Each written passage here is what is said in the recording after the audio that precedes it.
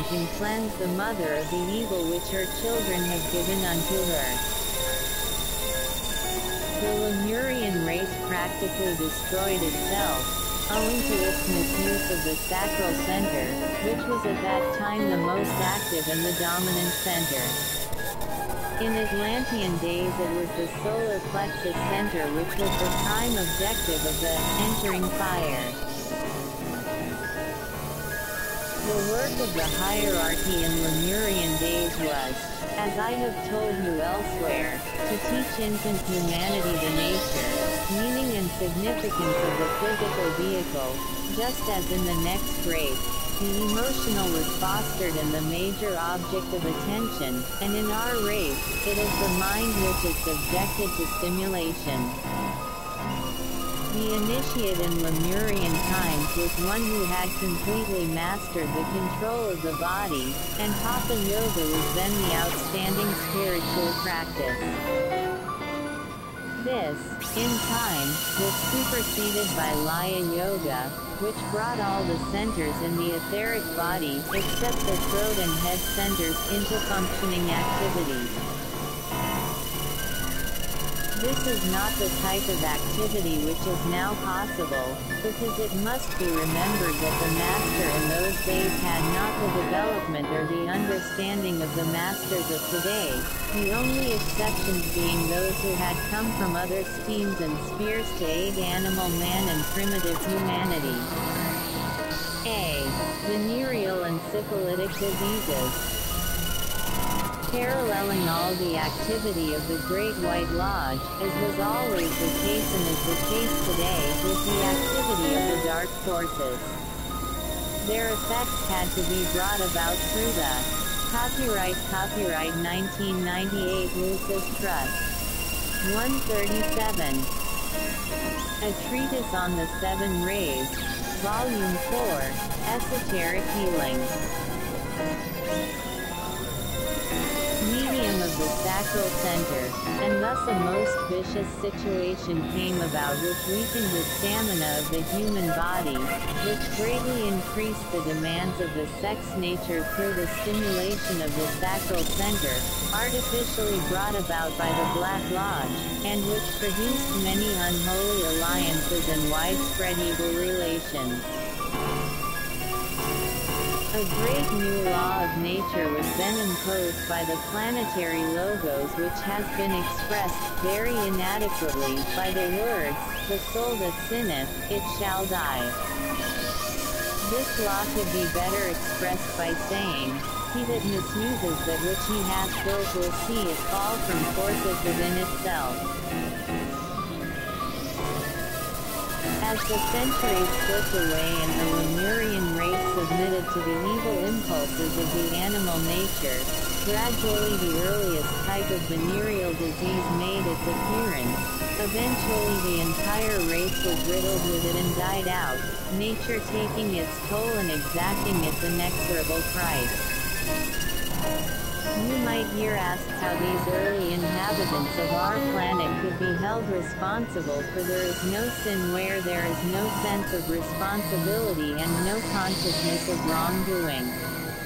The hierarchy in those days had its own methods of teaching these infant peoples, just as the smallest child can be taught today to refrain from certain physical habits. Humanity then knew well what was evil, because the evidences of that evil were physically apparent and quite easily perceived. The penalty was obvious and the results immediate. The teachers of the race saw to it that cause and effect were quickly to be noted. At this time there also arose the first tendencies to marriage, as differentiated from promiscuity, the formation of family units became the subject of attention and a goal for the most highly evolved. This was one of the first tasks undertaken by the hierarchy and the first effort toward any form of group activity, conveying the first lesson in responsibility.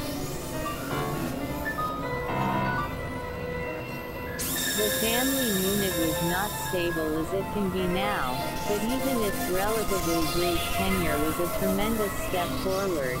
The segregation of the family unit and the growth of the sense of responsibility has gone steadily forward until it has culminated in our present system of marriage and our stress in the Occident upon monogamy. It has led to the Western pride in family strains and pedigrees, our interest in genealogies and relationships, and the complete horror of the Occidental thinker over the syphilitic diseases as they affect families and their offspring. Two most interesting things are, however, happening today. The family unit, on a worldwide scale, is being broken up, owing to the fortunes of war and, on a smaller scale, owing to the more modern views concerning marriage and divorce. Secondly, definite and rapid cures for the sexual diseases are being discovered, and these may tend to make people more reckless. However, they are perfected, they will in the long run safeguard the race and will return bodies to the soil after death freed from the plague which has contaminated the earth for endless ages. There will thus be brought about a gradual purifying of the soil. The growth of the practice of cremation will also aid this process of purification. Destruction by fire and the intensity of the heat engendered by applied military methods are also helping, and during the next 1 million. Copyright Copyright 1998 Lucis Trust. 138. A Treatise on the Seven Rays. Volume 4, Esoteric Healing. Years we shall see syphilis, inherited from Lemuria, stamped out, both in the human family and in the soil of the planet. As the ages passed away, humanity entered into the Atlantean stage of development. The conscious control of the physical body dropped below the threshold of consciousness, the etheric body became consequently more potent, a fact not oft considered, and the physical body reacted increasingly like an automaton to the impression and the direction of a steadily developing desire nature. Desire became something more than simply response to animal physical urges and to the primitive instincts, but was directed to objects and objectives extraneous to the body, towards material possessions and towards that which when seen and coveted could be appropriated. Just as the major sins of Lemurian times, if they could be called sins in any true sense, because of the low intelligence of the race were through the misuse of sex, so the major sin of the Atlantean people was theft, widespread in general. The seeds of aggression and of personal acquisitiveness began to show themselves, culminating in the Great War, as related in the secret doctrine between the Lords of the Shining Countenance and the Lords of the Dark Face. To procure what they coveted and felt they needed, the most highly evolved of that race began to practice magic. It is not possible for me to outline to you the nature and practices of Atlantean magic with its control of elementals and of forms of life which have now been driven back into retreat and are inaccessible to humanity. Neither can I indicate to you the particular methods used to acquire what was desired, the words of power employed and the carefully planned rituals which were followed by those who sought to enrich themselves and to take what they wanted, no matter what the cost to others. This magical work was the misdirected travesty of the white magic so openly used in those days, prior to the Great War between the forces of light and the forces of evil. Magic of the right kind was very familiar to the Atlantean people, and was used by those members of the hierarchy who were entrusted with the guidance of the race and who were combating rampant evil in high places. That same evil is again upon the warpath and is being fought by the men of goodwill, under the direction of the Great White Lodge. Heights of luxury were reached in Atlantis of which we, with all our boasted civilization, know nothing and have never achieved. Some faint traces of it have come to us from legends and from ancient Egypt, from archaeological discovery and old fairy tales. There was a recurrence of pure Atlantean mischief and wickedness in the decadent days of the Roman Empire. Life became tainted by the miasma of unadulterated selfishness and the very springs of life itself became polluted. Men only live and dreamed in order to be in possession of the utmost luxury and of a very plethora of things and of material goods. They were smothered by desire and plagued by the dream of never dying but of living on and on, acquiring more and more of all that they desired. P. Tuberculosis. It is in this situation that we find the origin of tuberculosis. It originated in the organs whereby men breathe and live, and was imposed, as a penalty, by the Great White Lodge. The masters promulgated a new law for the Atlantean people when Lemurian vice and Atlantean cupidity. Copyright Copyright 1998 Lucis Trust 139. A Treatise on the Seven Rays, Volume 4, Esoteric Healing were at their most ruthless height.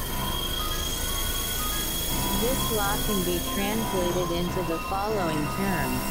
He who lives only for material goods, who sacrifices all virtue in order to gain that which cannot last, will die in life, will find breath failing him, and yet will refuse to think of death until the summons comes. It is difficult for us in these days to appreciate or to comprehend the Atlantean state of consciousness. There was no mental process whatsoever except among the leaders of the race. There was only rampant, ruthless, insatiable desire. This action of the Great White Lodge forced two issues and confronted the race with two hitherto unrealized problems. The first was that psychological attitudes and states of consciousness can and do bring about physiological conditions, these being both good and bad.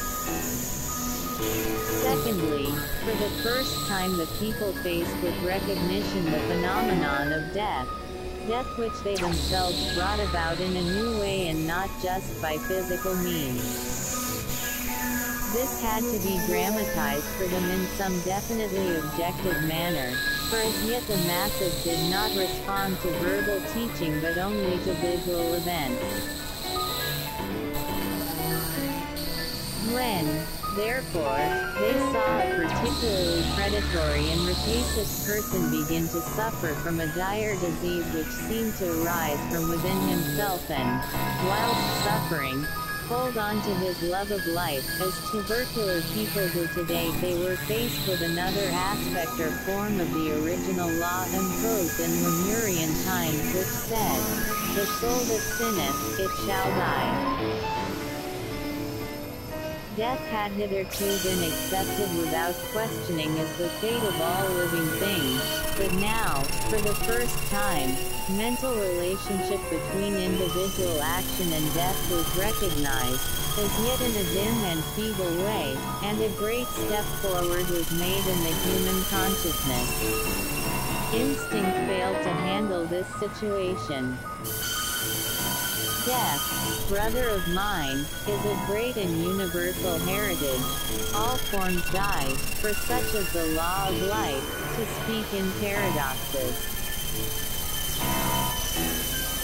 The time had arrived when the race could be taught the lesson that death can either be the ending of a cycle and an automatic response to the great law of cycles which continually institutes the new and ends the old, or it can be brought about by the misuse of the physical body, by misapplied energy and by the deliberate action of the man himself.